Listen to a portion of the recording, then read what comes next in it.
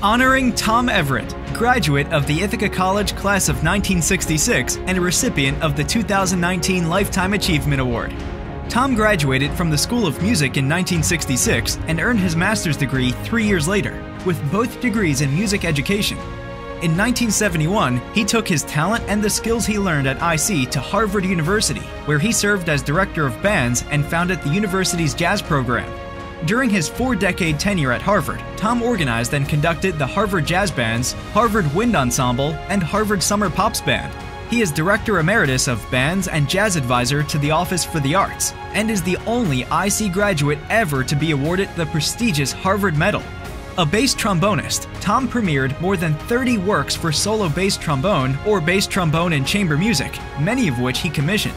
He has performed with the Bolshoi Ballet, Boston Pops, Portland Symphony, and the bands of Tommy Dorsey, Dizzy Gillespie, and Ray Charles. We congratulate Tom on his incredible accomplishments, which reflect the integrity of Ithaca College and the School of Music.